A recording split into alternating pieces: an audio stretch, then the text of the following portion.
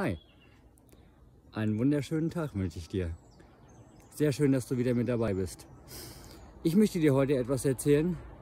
Ähm, und zwar, wie dir vielleicht aufgefallen ist, habe ich eine neue Kappe. Das liegt aber nicht daran, dass ich mir unbedingt eine Kappe mit diesem Pfeil drauf kaufen musste. Obwohl die auch schön ist, habe sie mir ausgesucht. Aber ich habe in der ähm, letztrigen oder in der gestrigen Herberge meine Kappe liegen lassen. Und ich habe es leider erst sieben Kilometer danach mitbekommen. Ich habe auch noch mein Kopftuch liegen lassen und meine Tupperdose. Ach komm, Lost Day. Alte liegen lassen, Neues, Platz für Neues. Und ähm, das ist genau der Grund, warum ich dir das jetzt heute erzähle.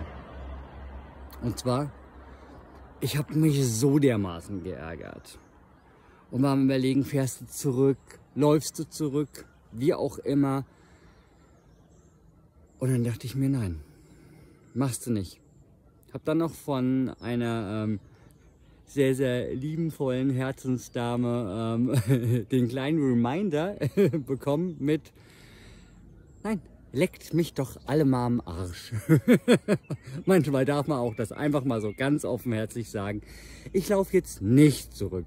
Ich laufe jetzt weiter und es wird etwas geben. Es wird sich irgendetwas auftun.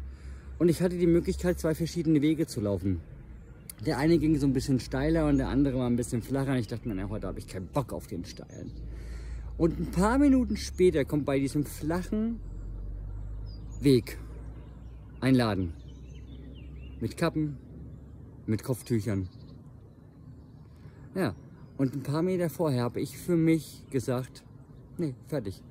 Es ist okay, ich reg mich jetzt nicht auf, es wird davon eh nicht hübscher. Und das ist genau das. Bitte, reg dich doch nicht über Sachen auf, die passiert sind. das machen wir alle. Und klar, das wird auch immer wieder vorkommen. Aber irgendwo gibt es einen Punkt, wo du sagen kannst, ist in Ordnung.